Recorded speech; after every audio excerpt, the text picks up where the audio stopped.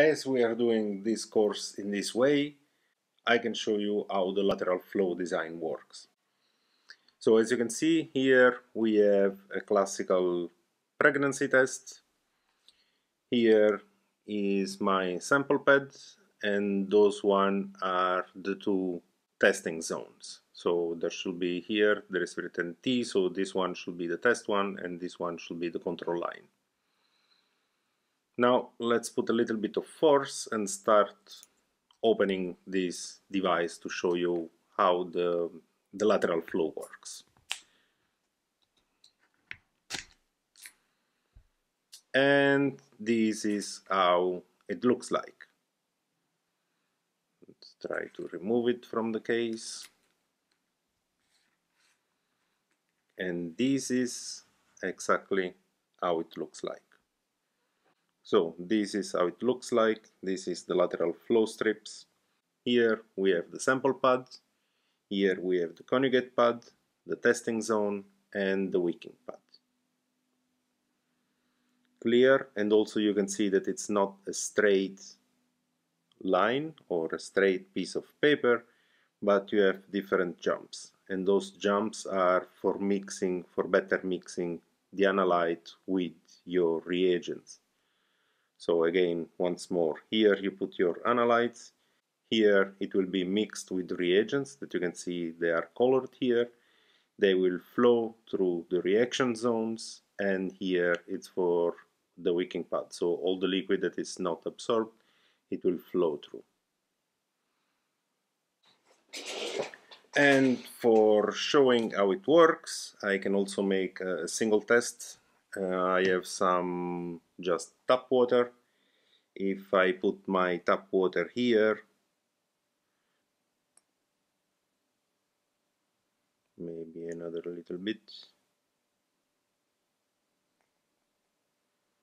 nothing will happen. And that's because there are no reagents here. Nothing is going to happen here. The only things that I have here are the, um, the covalently attached molecules. But the reagents for coloring are not here. Now, on the other hand, if I start putting my liquid here, you see the reagents are moving.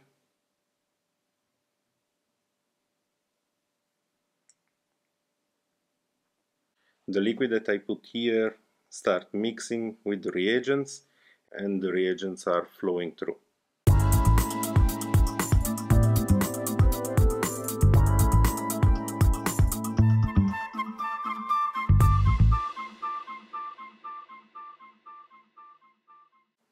And as the reagents are flowing through then this one is my control line. They are reacting with the molecules that are on control line and I can have a signal. And at the end they are touching the wicking pad and this one is collecting all the water all the analytes that goes in this direction. And if I'm checking again this one was the position.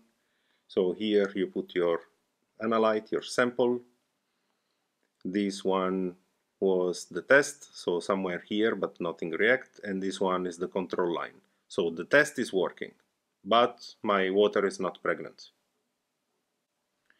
So once more here I have my sample pad here my conjugate pad where all the reagents are mixing together with my my liquid.